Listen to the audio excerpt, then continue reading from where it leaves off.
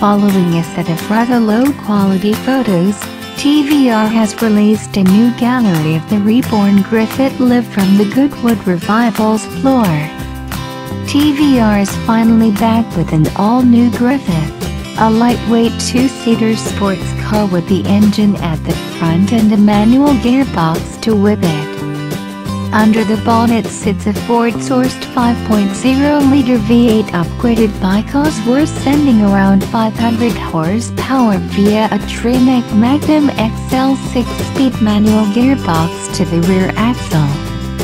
TVR claims an unleaded weight of 1250 kilograms, meaning the new Griffith will offer a power-to-weight ratio of 400 horsepower per ton while weight distribution is a perfect 50-50.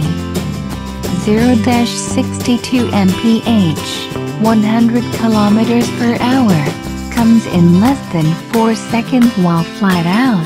The new TVR Griffith will do over 200 mph, 321 km per hour placing it in the upper leg of sports cars.